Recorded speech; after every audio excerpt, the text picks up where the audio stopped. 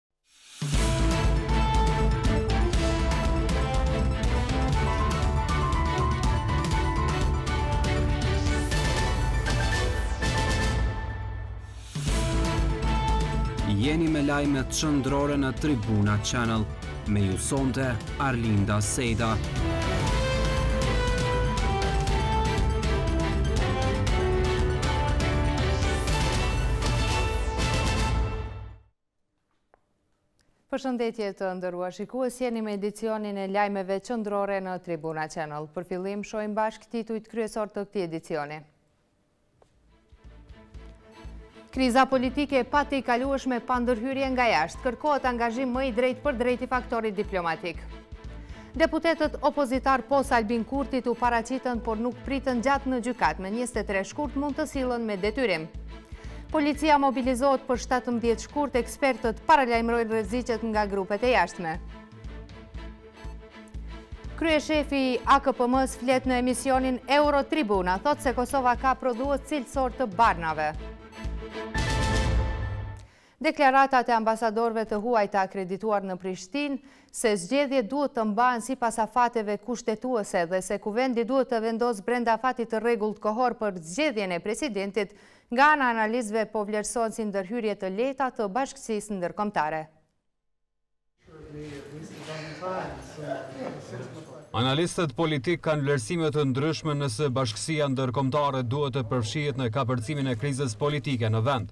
Madje ka të tillë që thonë se ndërkombëtarët tashmë kanë ndërhyrë, mirëpo ndërhyrja e vërtetë do të ndodhë pas mbajtjes së zgjedhjeve në vendet fqinje.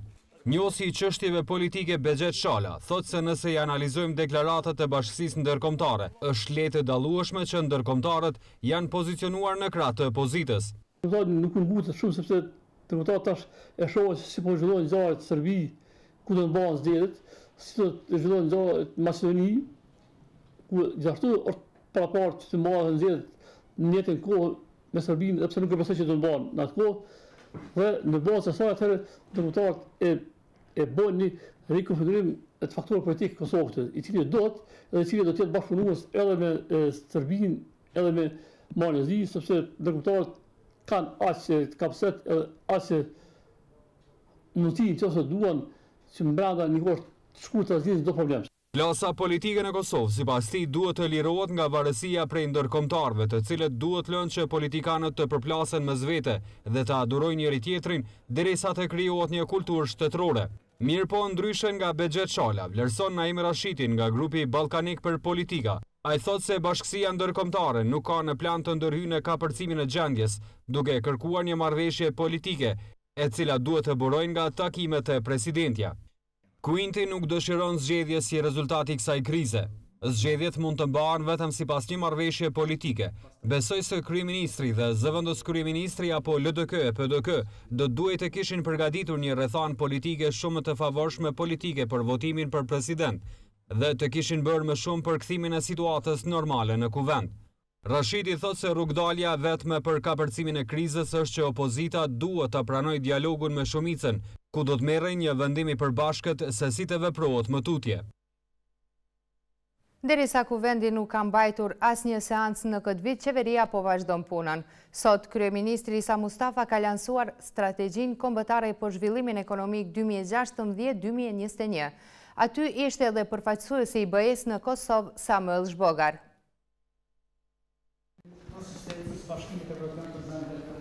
Kapitali njerëzor, sundimi i ligjit, konkurrueshmëria dhe infrastruktura janë katër prioritetet e Strategjisë Kombëtare për Zhvillim në gjashtë vjetët në vazhdim. Kjo u bë e ditur gjatë lansimit të kësaj strategjie, të cilën kohë më parë e ka miratuar Qeveria e Kosovës. Në fjalën e tij, kryeministri i Kosovës, Isa Mustafa, tha se nuk ka temë më të rëndësishme sesa punësimi dhe ekonomia. Ne me këtë strategji kemi ba të qarta orientimet tona. E kemi bë të qartë po ashtu dhe pozicionin tonë se zhvillimi ekonomik, promovimi i punësimit dhe rritja e mirëqenies do të jenë themeli i qeverisjes së mirë të vendit për këto katër vite të mandatit të kësaj qeverie dhe se gjitha këto bazohen në iniciativën private, në konkurrencën e tregut hapur si forca kryesore që sigurojnë prosperitet ekonomik dhe sigurojnë zhvillim. E përfaqësuesi i Bashkimit Evropian në Kosovë, Samuel Zhbogar, nga ana e tij, e ka lavdëruar Qeverinë e Kosovës për lansimin e kësaj strategjie. Kosova tha se ka nevojë për zhvillim më të madh ekonomik, të përmirësojë klimën ekonomike dhe të fokusohet në rritjen e investimeve të huaja.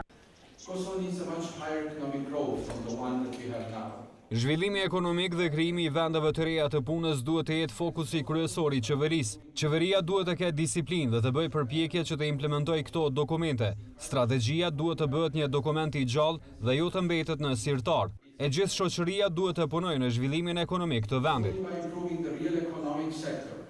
Kurse ministri i Financave, Avdullah Hoti, Tha se ky është një dokument i cili do të zhvillohet dhe plotësohet. Ai tha se pret nga partnerët që të marrin për bazë orientimet e qeverisë të hartuara në këtë strategji. Dy orë para se të lansohej strategjia për zhvillim, tre deputetët opozitarë janë paraqitur para gjykatës. Mirëpo jo njësoj ka vepruar edhe Albin Kurti. Meqë edhe ata që janë paraqitur nuk kanë pritur gjatë, por kanë ikur, Gjykatësi i rastit ka paralajmëruar se më njëzet e tre shkurt do të sillen me detyrim në gjykatë. Të hënën u paraqitën vetë në seancën gjyqësore, por katër deputetët e opozitës, përfshirë edhe Albin Kurtin, që sot nuk ishte me ta, më njëzet e tre shkurt mund të sillen me detyrim në gjykatë. Gjykatësi Beqir Kalludra veç se ka paralajmëruar lëshimin e urdhrit për të arrestuar deputetët e opozitës, Të akuzuarit Albin Kurti, Albulena Haxhiu, Donika Kada Bujupi dhe Faton Topalli, gjykata do t'i lëshojë urdhëresë për sjellje me detyrim për seancën e radhës. Meqenëse të gjithë kanë qenë të ftuar në mënyrë të rregullt. Kjo deklaratë e kryetarit të trupit gjykues erdhi pasi Albulena Haxhiu, Donika Kadaj Bujupi dhe Faton Topalli lëshuan seancën e thirrur për ta. Arsyeja e largimit ishte vonesa e ardhjes së gjyqtarit, e gjyqtarin Kalludra ata e pritën pesëmbëdhjetë minuta. Madje deputetët arsyetuan se nuk mund të humbin kohë, ngase janë duke u përgatitur për protestën e shtatëmbëdhjetë shkurtit. Mungesa e gjyqtarit dhe papërgjegjësia e tij për herë të dytë Vonesat e tij të vazhdueshme na bënë që ne sot të kthehemi në punët tona, sepse kemi shumë punë, është data shtatëmbëdhjetë shkurti shumë afër. Gjykim politik e ka quajtur akuzën ndaj tyre deputeti i Vetëvendosjes, Faton Topalli. Si nga ana politike, ashtu edhe nga ana e drejtësisë shifet që ky proces gjyqësor është deri në fund politik dhe ka qëllim persekutimin e deputetëve.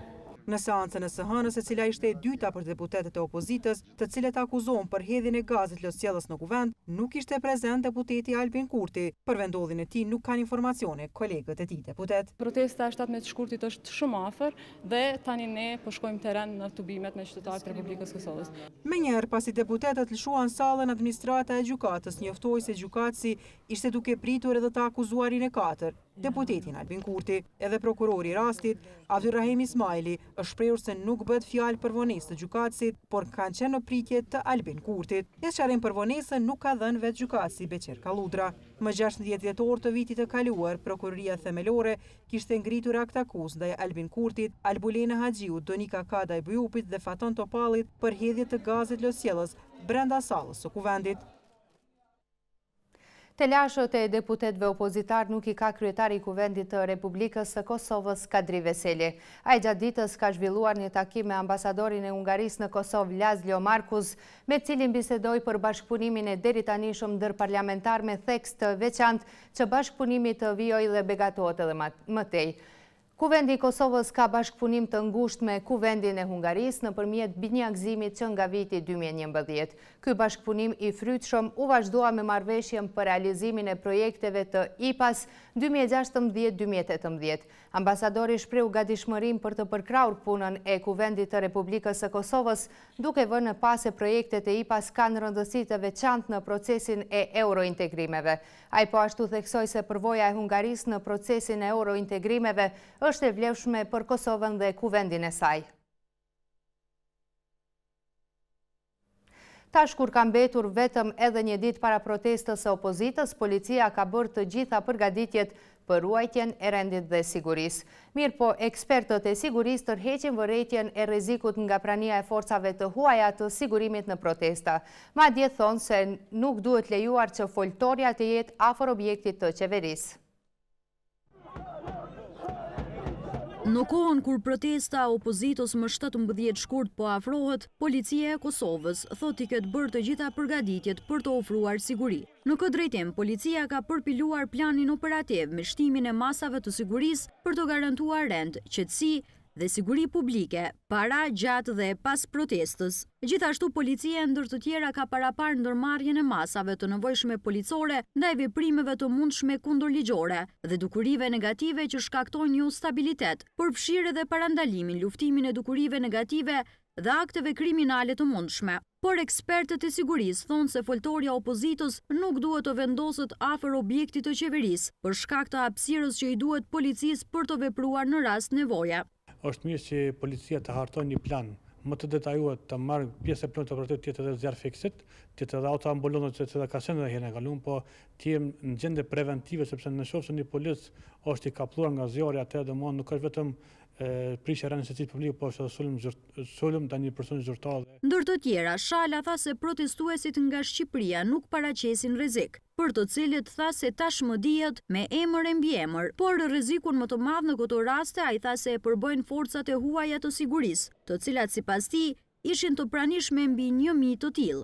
Po çështja kyçe është çka t'i bëjmë atyre strukturave të sigurisë të shteteve tjera përreth që i kemi që mund të interferojnë. Këtu është pika kyçe, sepse pikërisht këta njerëz, këto struktura të sigurisë që mund të interferojnë brenda protestës mund të shkaktojnë dëme shumë më të mëdha sesa që mund të shkaktojnë disa protestues qytetarë.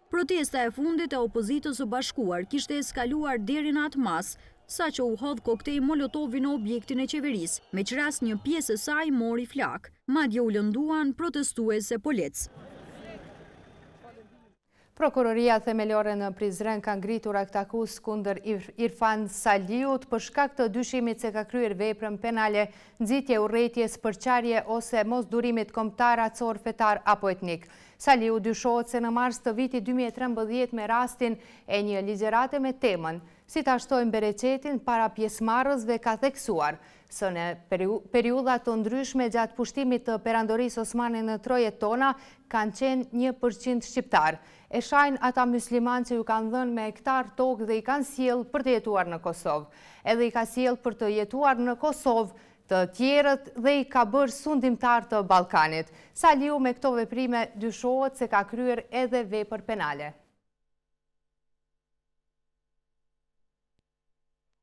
Ndërrojmë temë të informacionit. Në panairin e organizuar nga Ministria e Punës dhe Mirëqenies Sociale në bashkëpunim me odat ekonomike të vendit, janë ofruar mbi pesëqind vende të lira të punës.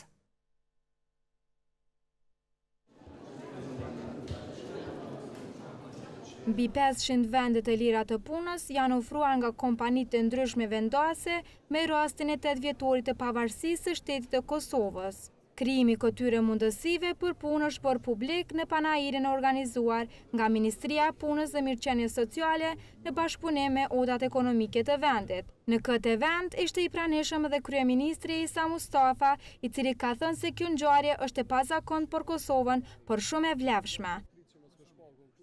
Ofertat e punës të cilat sot do të bashkërenditen këtu me ata që kërkojnë punë, do të jenë mbi 500 të tilla në fusha të ndryshme, që është një mundësi e veçantë për të rinjtë tanë, për punësim brenda, por natyrisht kemi Edhe shansën atyre që dëshirojnë që përkohësisht të punësohen jashtë që të shprehin nevojat dhe kërkesat e tyre. Arban Abrashi, ministër i Punës dhe Mirëqenies Sociale, ka thënë që hapja e këtij panairi është një mundësi e mirë për të rinjtë e Kosovës. Nga profili i përgatitjes që ka kompania mbi pesëqind vende të lira të punës, Edhe është një mundësi e mirë për të rinjtë dhe të rejat e Kosovës që të gjejnë veten ose të fillojnë karrierën. Ato çka pashë më herët është se vendet e lira janë në realisht në të gjitha sektorët, që nga ndërtimtaria, në IT, në shërbime, në shitje, rishitje dhe mundësi e mirë për të rinjtë. Pos përpos kësaj ka mundësi edhe të trajnimit profesional, është këndi i Ministrisë Punës që ofron diku rreth gjashtëdhjetë punëtori. Është një mundësi e mirë si bashkëpunim i mes Ministrisë, Odave, atyre që i njohin më së miri nevojat dhe kërkesat e bizneseve. Problemi esencial i shtetit të Kosovës është papunësia, është shprehur Safet Gërxhaliu, kryetar i Odës Ekonomike të Kosovës. Është më se e vërtetë që problemi ma esencial për Kosovën është papunësia dhe në këtë mënyrë në mbështetje të Ministrisë për Punë dhe Zhvillim Social dhe Odat Ekonomike, Oda Gjermane, Oda Ekonomike e Kosovës dhe Oda Amerikane ka pa të arsyeshme që të organizojë një panair të tillë ku do të thotë shumë kompani të sektorit të ndryshme do të paraqesin nevojat e tyre për punëtorë dhe për aftësi për fuqi punëtore.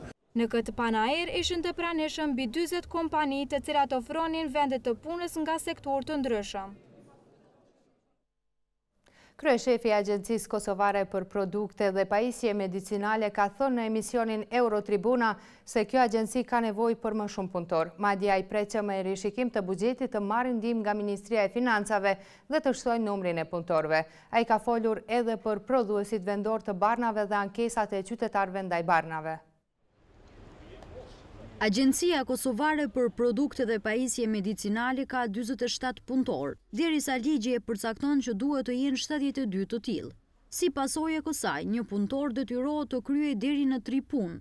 Kështu ka deklaruar në emisionin Eurotribuna, kryeshefi i kësaj agjencie, Jeton Shala. Ligji siç e ka parashikuar duhet të jenë rreth shtatëdhjetë e dy punëtorë. Pra, kemi rastin ku në Agjencinë e Barnave një punëtor kryen më shumë se tre punë, për shkak ngarkesës së madhe dhe dispozitave ligjore të cilat na obligojnë për me i kthy përgjegje apo për me kthy një certifikatë, një produkt, një licencim, siç e përmendët ju të barnatores, depos apo një kërkesë të palës që e ka brenda një afati ligjor.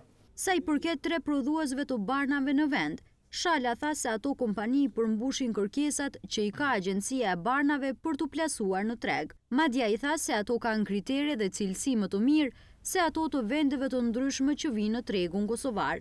Shala foli edhe për ankesat e qytetarëve të cilat i kanë ndaj produkteve medicinale, duke thënë se kanë mundësi të ankohen në departamente të ndryshme të AKPPM-së dhe në Ministri të Shëndetësisë. Në secilin prej departmenteve kur të ankohet ajo letër në mënyrë të protokolluar do vijë te vendi ku e ka, do shqyrtohet edhe pastaj do i shkruajmë përfaqësuesit të bartësit të autorizim marketingut varësisht prej ankesës se çfarë ka. Sipas tij, AKPPM-ja është ligjvënia e çdo produkti farmaceutik për import, eksport, regjistrim dhe kontroll të cilësisë në laborator. Intervistën e plotë me kryeshefin e Agjencisë Kosovare për Produkte dhe Pajisje Medicinale mund ta ndiqni sonte në emisionin Eurotribuna prej orës njëzet e dyzet e pesë minuta. Ndërsa vazhdojmë me informacione të tjera. Sot janë bërë dyzet e gjashtë vjet nga themelimi i Universitetit të Prishtinës.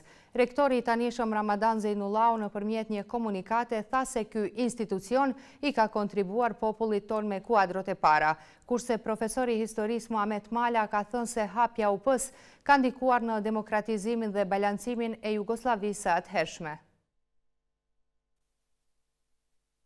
Universiteti i Prishtinës Hasan Prishtina sot ka shënuar dyzet e gjashtë vjetorin e themelimit. Me pesëmbëdhjetë shkurt një mijë e nëntëqind e shtatëdhjetë, UP-ja ishte themeluar me Ligjin për Themelimin e Universitetit të Prishtinës që ishte miratuar në Kuvendin e Krahinës Socialiste të Kosovës me tetëmbëdhjetë nëntor një mijë e nëntëqind e gjashtëdhjetë e nëntë. Më pastaj Kuvendi Themelues i Universitetit ishte mbajtur me trembëdhjetë shkurt një mijë e nëntëqind e shtatëdhjetë për të mbajtur pastaj dy ditë më vonë edhe mbledhjen solemne të hapjes së Universitetit të Prishtinës. Profesori i Historisë Muhamet Mala thotë se krijimi i Universitetit ka qenë atëherë një fitore shumë e madhe pasi politika serbe godiste në arsim dhe natalitet tek shqiptarët. Meqenëse shovenizmi serb kishte ra, dhe mandej duhej një lloj balancimi në mes tendencave serbomëdha dhe pjesës tjetër të Jugosllavisë, andej çështja shqiptare u pa si një lloj elementi i cili mund ta balansonte skemën politike që e kishte lëvizë politika serbomadhe e Rankoviqit e asaj kohe edhe e qarqeve serbomëdha Mala shtoi se hapja e UP-së ka ndikuar pozitivisht edhe në zhvillimin e demokracisë në ish-Jugosllavi, ndërsa rektori i tanishëm Ramadan Zejnullahu, nëpërmjet një komunikate, thotë se UP-ja ka qenë sinonim i progresit e aspiratave të popullit tonë. Në të kaluarën më të largët ky institucion i ka kontribuar popullit tonë me kuadrot e para që janë vënë në ballë të zhvillimit ekonomik, shoqëror e politik të Kosovës dhe viseve të tjera të banuara me shqiptarë. Ka shërbyer edhe si shkollë dhe si vatër qëndresë, e edhe si simbol i rezistencës të një populli të shtypur, por që nuk dorëzohej. Jemi krenarë me studentët dhe profesorët që janë meritorë për këto të arritura. Ndërsa në lidhje me çështjen aktuale të universitetit, profesor Mala, thotë se edhe pse universiteti është një shpirt lëvizës i çështjeve politike, megjithatë duhet ta ketë autonominë e vet. I kemi dy koncepte, atë të jashtëm që universiteti reflekton me vlerat e saja në dhe me vlerat e tija në shoqëri, ndërsa nga aspekti i brendshëm i duhet kurdoherë një lloj autonomie. Shiquar historikisht, autonomia e universiteteve daton që nga periudha mesjetare, kur ata u ndanë nga aspekti fetar, Përderisa rektori Zejnullahu në komunikatën e tij shkruante se koha do të tregojë se a i kanë ndërmarrë veprimet e duhura apo jo. Me disa ndryshime të rendit të ditës, Kuvendi Komunal i Prishtinës për herë të parë për këtë vit ka arritur të aprovojë disa propozim vendime. Opozita pati shumë kritika ndaj pozitës që edhe kësaj radhe e bojkotuan seancën. Megjithatë, u arrit të ndahet tokë për ndërtimin e kishës protestante. të caktimit të lokacionit për varrezat e. Komuna e Prishtinës në seancën e parë për vitin dy mijë e gjashtëmbëdhjetë ka caktuar lokacionin për varreza dhe kishë protestante. Parcela është ndarë afër varrezave katolike dhe ortodokse. Aty më parë kishte qenë e paraparë të ndërtohej pishina olimpike. Shefi i grupit parlamentar të PDK-së, Lirak Çelaj, i cili kishte propozuar që të hyjë në rend dite pika për kishën protestante, ka thënë se kjo pikë ishte tërhequr dhe bllokuar me vite nga kryetari Shpend Ahmeti. Ajo është nevojë elementare për të cilën ata janë ankuar dhe kanë bërë kërkesë qysh moti. Propozimi për varreza dhe kishë protestante u përkrah edhe nga dy grupet e tjera parlamentare, LDK dhe AKR. Prandaj lokacioni i cili Është propozue edhe merret pëlqimi nga komuniteti protestant edhe grupi i këshilltarëve të LDK-së e përkrah. E përkrahim caktimin e kësaj parcele për varrezat e Kishës Protestante. Po ashtu në këtë mbledhje është miratuar edhe propozim ndryshimi i anëtarit të Komisionit për kompaninë Parking Prishtina, ku në vend të Habit Kastratit, i cili deri më tani ka qenë në këtë pozitë, është emëruar Muhamet Nura. Shefi i asambleistëve të PDK-së në Kuvendin Komunal të Prishtinës, Lirak Çelaj në mbledhjen e sotme të Kuvendit, ka thënë se është e turpshme se si kryetari i Prishtinës, Shpend Ahmeti i ka kidnapuar sheshët kryesore dhe i ka vënë në shërbim të agjendave partiake duke mos bërë asnjë organizim për të shënuar Ditën e Pavarësisë së Kosovës. Kryetari i komunës po keqpërdor pushtetin këtu dhe e ka vënë qytetin në dispozicion të një subjekti politik apo të një kauze të subjektit politik dhe po dëshmon që ai nuk po sillet si kryetar i gjithë qytetarëve të Prishtinës. E Flamur Shala nga LDK lexoi një deklaratë në lidhje me injorimin që po i bëhet festës së Pavarësisë nga kryetari Shpend Ahmeti. Arsyetimet e kryetarit të Komunës së Prishtinës se festa e Pavarësisë është festë me të cilën duhet të merret Qeveria e Republikës së Kosovës janë të papranueshme dhe janë përpjekje për denigrim të kësaj dite të madhe festive. Mbledhja e Kuvendit Komunal në Prishtinë u ndërpre për shkak të mungesës së kuorumit në sallë, pasi asambleistët e Lëvizjes Vetëvendosje nuk ishin në sallë. Ndërsa më vonë mbledhjen e kanë lëshuar edhe asambleistët nga radhët e AAK-së. Agjencia Kosovare e Privatizimit ka publikuar listën me emrat e njëqind e shtatëdhjetë uzurpatorëve të pronave shoqërore. Këtë e kishte kërkuar kryetari i Kuvendit të Kosovës Kadri Veseli pas takimit që ka pasur me drejtuesit e AKP-së tri ditë më parë. Në bazë të listës, rajoni i Mitrovicës del të jetë me numrin më të madh të uzurpatorëve. Agjencia Kosovare e Privatizimit e ka plotësuar kërkesën e kryetarit të Kuvendit të Kosovës, Kadri Veseli, i cili ditë më herët e ka kërkuar publikimin e listës me emra të uzurpatorëve të pronave shoqërore. Kosova ka qytetarë të vet, vllavi im të koftë ose i yti bashkë pak po mërzitem, e të marrë përgjegjësinë secili. Po ajo çka është kryesore, transparencë, Jo me pas momente kur njerëzit ndoshta të qëndrojnë prapa atyre, flasin edhe këtu në Kuvendin e Republikës së Kosovës. AKP-ja ka publikuar sot listën me emrat e njëqind e shtatëdhjetë uzurpatorëve, të ndarë në rajone e komuna.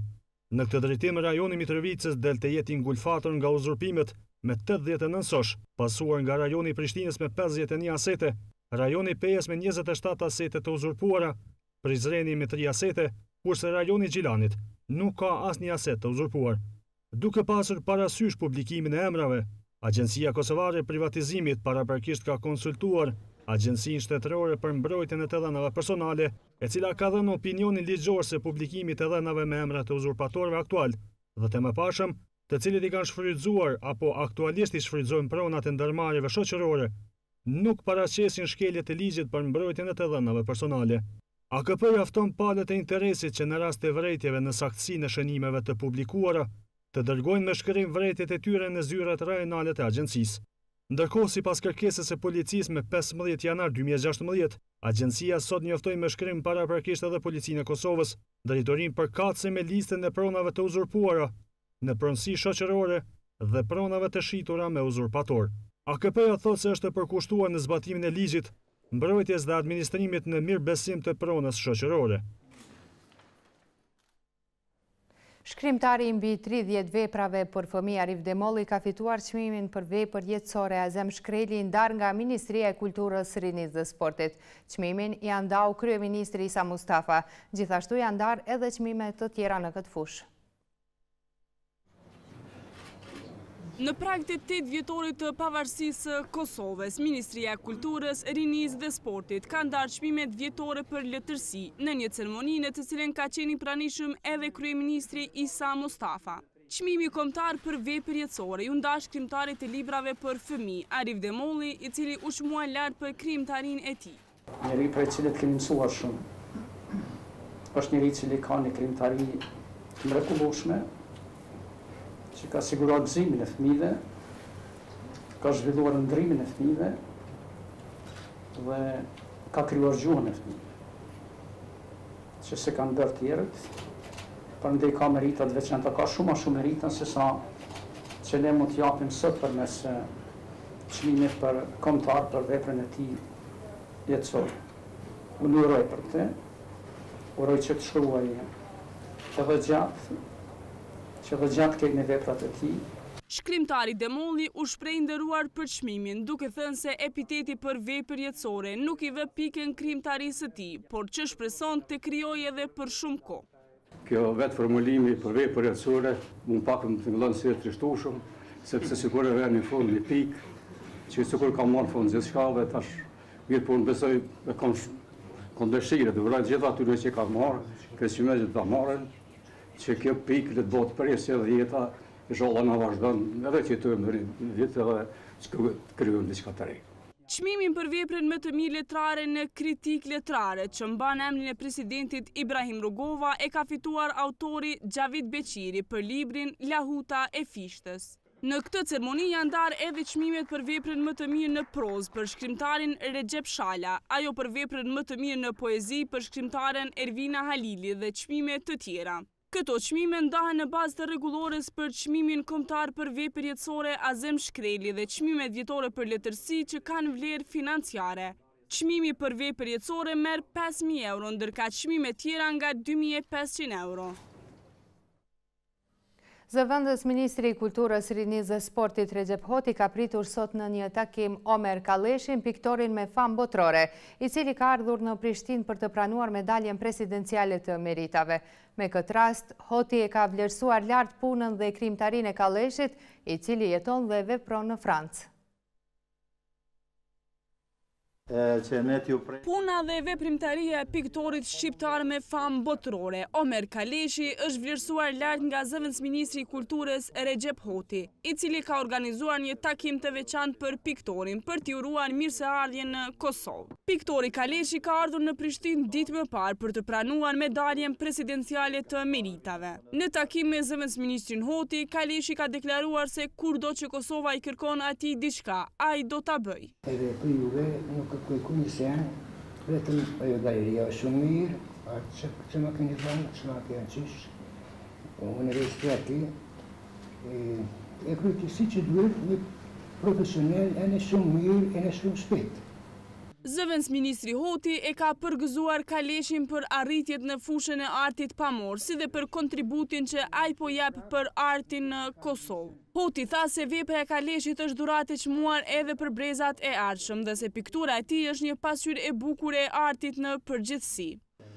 Sepse nderimi që ni ju keni ardhë këtu iu takon të gjithë neve në Kosovë dhe s'mund ta merr askush përveç Çaniut që këtij do t'ia falim ta merr atë krenarinë pak më shumë, por neve vërtet na keni nderu jashtëzakonisht shumë. Piktori Kaleshi për vite me radhë jeton në Paris të Francës, por kontributi i tij për Kosovën është gjithnjë prezent. Kaleshi i ka dhuruar Galerisë së Universitetit Iliria në Prishtinë, që mban emrin e tij, njëzet e gjashtë piktura të përzgjedhura. Kaleshi theksoi se pikturat e dhuruara janë një dhuratë e tij për të gjithë popullin e Kosovës. Zëvendësministri Hoti në takim gjithashtu priti dhe Jeton Ahmetajn, regjisor dhe profesor i regjisë së filmit në Universitetin e Prishtinës, Orhan Kërkezin, regjisor dhe Qani Mehmedin, gazetar me të cilët biseduan rreth artit pamor në përgjithësi dhe në veçanti rreth veprës së piktorit shqiptar Kaleshi.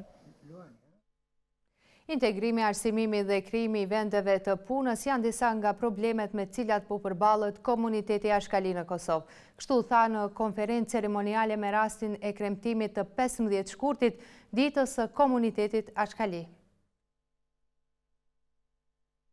Komuniteti Ashkali është i rëndësishëm në aspektin shoqëror dhe politik, prandaj Qeveria është e përkushtuar ta ndihmojë këtë komunitet. Megjithatë, sfidë më e madhe për këtë komunitet mbetet arsimimi, integrimi dhe krijimi i vendeve të reja të punës. Kështu u tha në konferencën ceremoniale me rastin e kremtimit të pesëmbëdhjetë shkurtit, Ditës së Komunitetit Ashkali. Ministri i Administratës Publike, Mahir Jagxhillar, tha se edhe komunitetet janë pjesë e shtetit, prandaj duhet të punohet për t'iu ofruar atyre kushte më të mira. Jemi përqendruar së pari të ndërtojmë shtetin, të gjithë qytetarët si të gjithë qytetarët e Kosovës të krijojmë kushte sa më të mira për jetë. por nga ana tjetër kemi obligimin të krijojmë kushte edhe sa më të mira edhe për komunitetin e vet.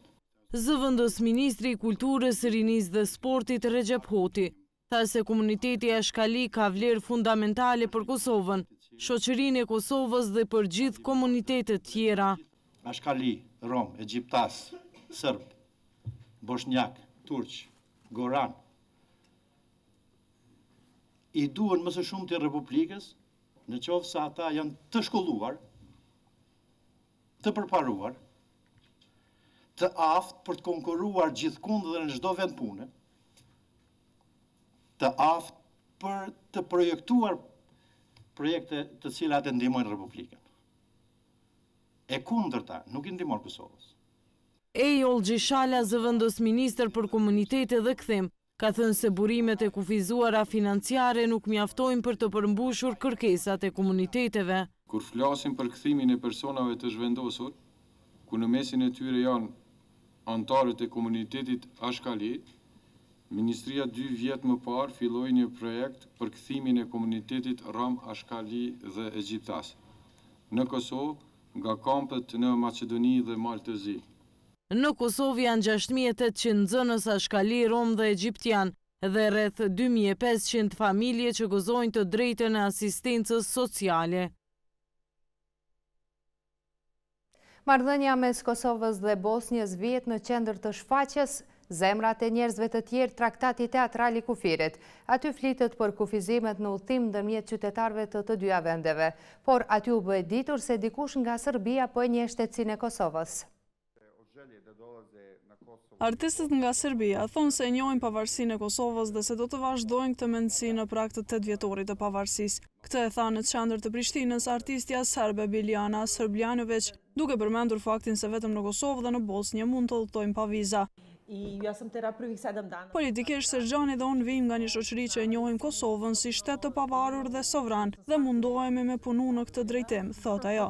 Këto komente ajo i ka bërë në një konferencë për median në Teatrin Kombëtar rreth shfaqjes Zemrat e njerëzve të tjerë, traktati teatral i kufirit. Marrëdhënia mes Kosovës dhe Bosnjës vihet në qendër të kësaj shfaqjeje me tekst të Biljana Srbljanoviq dhe nën regji të Dino Mustafiq. Mustafiq ka përmendur telashet me të cilat përballen qytetarët e Bosnjës dhe të Kosovës për të marrë viza për qarkullim ndërmjet këtyre dy vendeve, ndërkohë që shumë më shpejt pajisen me vizë për Kanada dhe Shtetet e Bashkuara të Amerikës.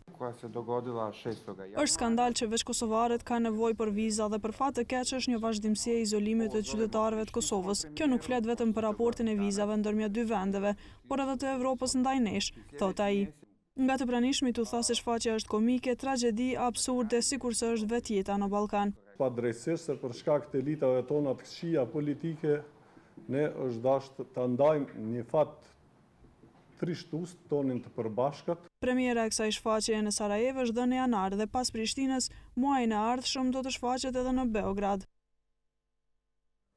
Në vazhdim lajme nga arena ndërkombëtare. Dy spitale janë goditur gjatë sulmeve më të fundit ajrore në Sirinë veriore, me ç'rast janë vrarë dhe janë plagosur një numër njerëzish, kanë thënë mjekët dhe dëshmitarët. Në Azaz në kufi me Turqinë, të paktën dhjetë persona raportohet të kenë humbur jetën, përfshirë disa persona brenda një spitali.